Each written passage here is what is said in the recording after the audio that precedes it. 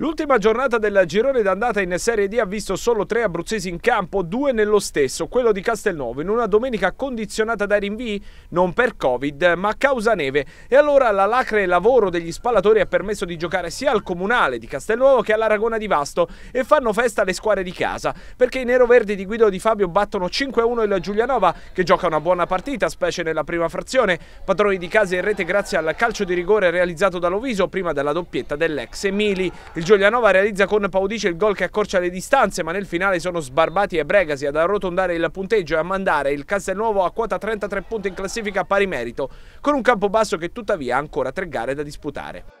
Sono partite difficili da, da, giocare, Giulianova è una squadra no, che è messa bene in campo, ti fa giocare male e abbiamo fatto un primo tempo sporco, poi siamo stati fortunati in occasione del rigore che ci ha permesso di sbloccare la partita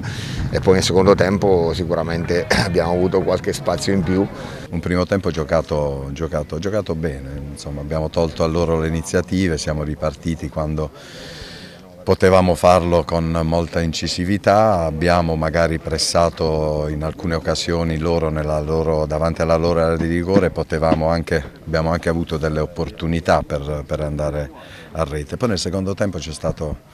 subito il secondo gol che presumo, eh, per carità non voglio togliere il merito a chi l'ha segnato, presumo sia un cross sbagliato, così è sembrato, eh, non intenzionale e, e comunque non abbiamo mollato.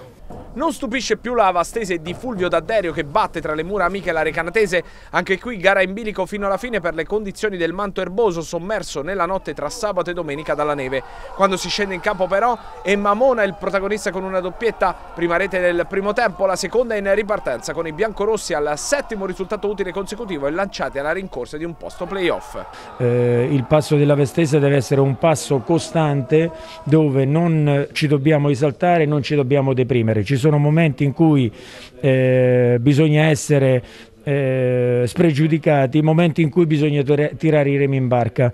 Eh, devo dire che il passo della, della, Vastese è tutto da scoprire, anch'io non riesco a capire dove e come eh, questa squadra potrà esprimersi, quindi eh, navigo a vista eh, se ci sono le onde non vedo, se non ci sono le onde ed è un po' piatto vedo un po' più lungo ma non vedo orizzonti eh, davanti a me perché eh, il calcio mi insegna di guardare sempre eh, vicino e mai lontano. Domani invece il Notaresco recupera la sfida con il Porto Sant'Elpidio rinviata ieri. Si giocherà non al Vincenzo Savini ma proprio a Castelnuovo che ha messo a disposizione il proprio terreno di gioco. Fischio d'inizio alle ore 14.30.